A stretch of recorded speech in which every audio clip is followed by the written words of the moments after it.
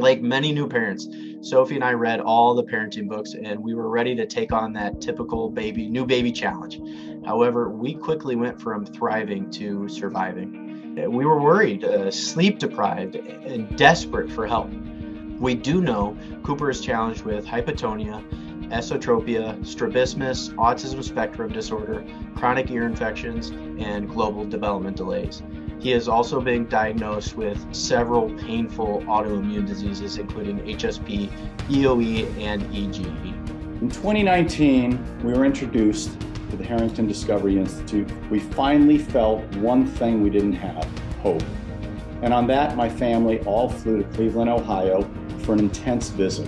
Dr. Stamler and his team of physician scientists had done their homework from all the medical information Sophie and Jordan provided. They described their process and the possibilities for an FBXO11 cure.